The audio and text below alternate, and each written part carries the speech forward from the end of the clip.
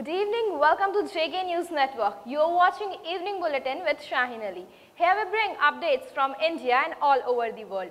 So let's get the top news coverage.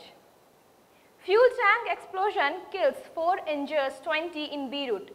At least 4 people were killed and 20 others injured after a fuel tank exploded inside a building in the Lebanese capital Beirut.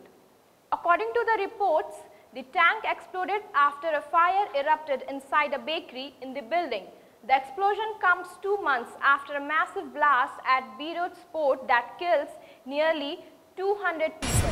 Clashes erupt as police evict feminist group from German building violence erupted between protesters and German police as the force cleared out the Liebig 34 house in Berlin which housed a left-wing radical feminist group for the last 30 years.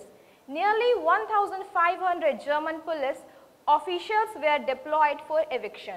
The owner of the building refused to renew their 10-year lease in 2018 and sued them after they refused to leave. The owner of the building refused to renew their 10-year lease in 2018 and sued them after they refused to leave. 35-year-old IS officer Sudhakar Shinde dies due to COVID-19 in Pune IS officer. Sudhakar Shinde passed away at the age of 35 due to COVID-19 in Pune on Friday. Shinde was a 2015 batch officer from Tripura cadre. The Pune Municipal Corporation Chief Engineer and Coordinator for COVID-19 had confirmed that his death was due to virus.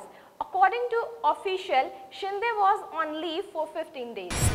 Madhya Pradesh Chief Minister Shivraj Chauhan goes down to audience during Mandsaur rally. Madhya Pradesh Chief Minister Shivraj Singh Chauhan bowed down to people during a rally in Mandsaur on Friday. As a mark of gratitude towards them, Chauhan stated, if I have become CM for the fourth time, it is because of Mandsaur and Neemuch.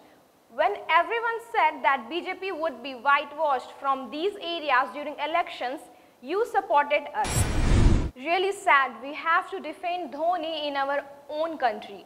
Oja after MS Dhoni's 5-year-old daughter received rape threats on social media. Following Chennai Super Kings loss to Kolkata Knight Riders, former India spinner Pragyan Oja said, it's nonsense. You cannot speak like that. I cannot take it. Oja added, Dhoni is a pillar of this sport and we have to defend him in our own country. It makes me really sad. We outsiders don't have the luxury of choice. Radhika Madan, commenting on the insider-outsider debate, actress Radhika Madan said, people who don't have a film background don't have the luxury to make choices in Bollywood. When I started out, it wasn't like a line of scripts were lying with me and I could choose. Radhika said, adding that she was told she wasn't pretty enough at the age of 20. So that's all for today. For more news updates, stay connected with JK News Network. Thank you.